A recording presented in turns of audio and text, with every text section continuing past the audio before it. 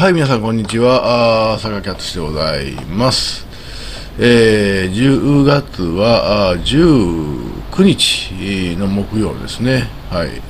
えー時間は10時半になろうとします。えー本日のですね、日経平均はあどうでしょうか。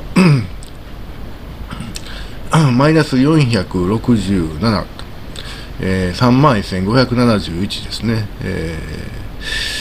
ドル円はですね、149.755ともう150が見えてきましたね。えー香港半線192マイナス17,540。うーん。えー昨日のニューヨークは332ですからね、えーマイナス。まあ、ちょっと下げたかなという感じ。えー原油系堅調ですね、87.08。えー金先物1962と、すごいやん。あの、実は10、昨日、おとといとですね、熊本にいました。えー、おととい、先おととい、16日月曜の夜から熊本に行きましてですね、えー昨日、おとついは全く熊本でして、あの、この相場を全然見ていない。丸2日見ていなかったんですけど、金上がってるやん、ほんまにっていう感じですね。なんでなんということですね。えー金上がってる。金上がってるということはドル下がってるということで、えー円が上がらなあかんのに円も下がってると。どういうことやねんと。いうことですね。えーっと、ドルウォン1356。これもちょっと押され気味ですね。えー下がってますね。はい、うん、この丸2日間、まるでですね熊本を吹いた遊び回ってましたんでですね、えーようわからんという感じになってますけど、えーちょっと勘を取り戻すのにですね1日2日かかりそうな 感じがしますけども、さて、えーは本題はこれでございます。昨日18日にですね、えー現代ビジネス出ました記事でして、藤和彦さん、ここここのところですね、よくご登場になるわけですね。なんかロレスがまらなくなってきましたね、熊本に行ってる間。もう始終酒飲んでるでしょ？って言ってまあ昼と夜だけですけど、おーやおやおやおやってだんだんだんだんロレスが回らなくなって、それが今も続いてる。いやいやわ、ほんまにという感じですよ。えー習近平の暴走が止まらない。公務員幹部たちも罪のなすりつけ合いで機能不全。経済音痴と粛清で始まった中国大崩壊のカウントダウン。えー全然関係ないですけど、22度ですね、今日千代田区ね。この部屋は24度、25度かな。ちょっといい感じではありますね。行きましょう。景気回復の起爆剤として期待されていた中国の大型連休国慶節が不発に終わり失望の声が上がっている。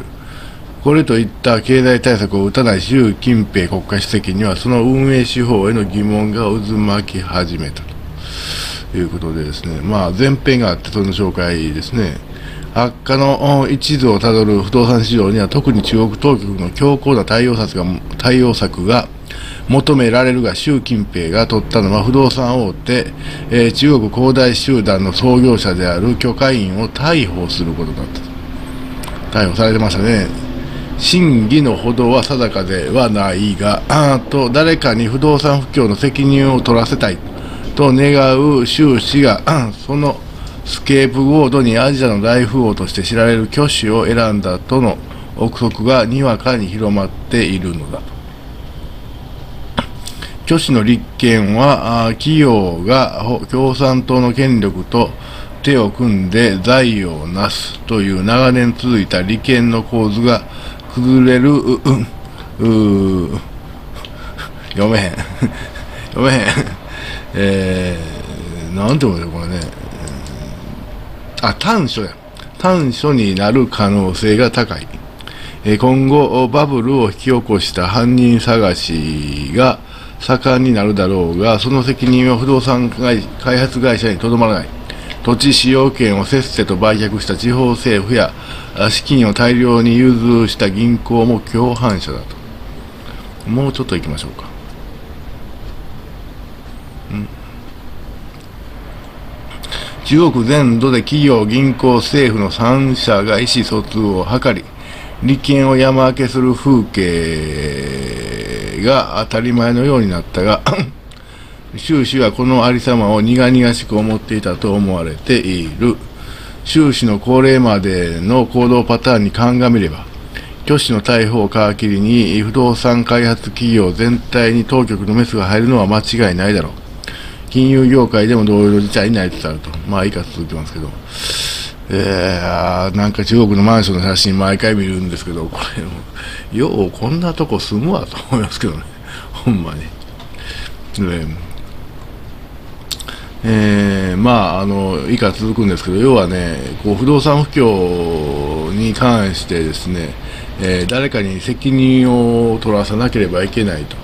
誰誰やというふうに見たときにですね、この許可員というおっさんですね、あの世界の大富豪何位とかいうのに女せられたこともあるというですね、えー、そいつを逮捕して、こいつがあるんやということで乗り切ろうとしてるんちゃうかというのはこの記事なんですけど、それでいてね、そういうことをする割にはですね、じゃあ今の不動産不況、バブル崩壊に対してどうしたらいいかというですね、何か対策を講じているということは全くないと。いうご指摘ですね、えー、私もそう思います。えー、それで、このバブル、これからね、この1匹だけで済まへんで、あのそのこのバブルを引き落とした引き起こしたらなんやねんということで、追及が始まるとですね、あの地方政府のですねトップですね。トップというかまあその土地をバンバカですねこうデベロッパーに売り倒した人間、えー、そのですね、えー、それに融資をつけた銀行と。そういったものにもですね類が友を呼ぶんではないかと。いうのがこの記事でして、まあ、そんなん言うたらですね全国にそのバブルを引き起こしたですね原因は何百人というか何万人もいるんちゃうかなと。いう感じがしますね。あのどうすんのという。いやそんなでもやり始めたらその大粛清の嵐で逮捕者続出になるんちゃうかなという気がしますけど。でも言うたってねバブルの最終はねそれをやることが普通やったわけですよ。なんでそうそうそうそうそれを咎めるというのは、ね、なんかこう変やなという気がしますけどね。まあでもとりあえず習近平のねこの人の書いてある通りこれはこれまでの、ね、やり方はですね誰かに責任を取らすという方式でいくわけなんですよ。まあ、実にね、あのなんて言いますか、心の狭い男ですね、ほんまにね。えー、あのもうそうやってですねこうガチガチにその自分の権力を組み上げて ですね、えー、で責任はどんどん取らせてですね 自分だけは安全圏にいてですね間違ってへんというふうにやりたいんでしょうね。えー、気持ちは分からいでもないけどもですねそんなことしたところで決してその今のですね 経済的な苦境はですね解消できないというふうに私は思いますけどね、えー、でも、まあ、あのこれが取っかかりでしてですね碧経営もどうやら昨日ですね、えー、あのデフォルトしたようですね、えドル建て債ですか。でまあ、今後ですね、これがどんどんどんどん続いていってですね、このあり地獄のような 中国のですね、えー、不動産バブルの崩壊はですね、止めるべくもない状況ですね。えー、なんでですね、あのちっとも状況は良くならないというふうに思います。えー、で、えー、ここにも書いてあるんですよ、ここの先ね。あの習近平自体経済がよく分かっていないんですよ。あの頭の中文化革命ですからね、習近平の。だからですねもうどうしようもないわけでして あのどこまで行くのか分かりません。このバブル崩壊の経済経済大不況というものがですねどこまで行くか分かりませんけどもかなりですねやばいところまでですね行くんではないかなという気がしますね。あのどうでしょうか。えー、いつも言う通りですねこれがもしかしたらですね中国の共産王朝のですね崩壊のきっかけになる可能性は十分にあります。あの王朝が変わる時っていうのはね歴代王朝が変わる時って必ず飢饉が来てるんですよ。飢饉って要はあの作物がうまく育たずにですね食えなくなった人々がですねあの農民農民農民反乱みたいになってですね、えー、あちこち襲いまくるわけですね。え、それで経済が大混乱にして、え、過去には人口が何分の1かに減ったという時代まであると言われています。あのー、昔はね食い物がなくなるっていうことでしたけど今はですね金がなくなって財産がなくなるということではないかなと思うんですね。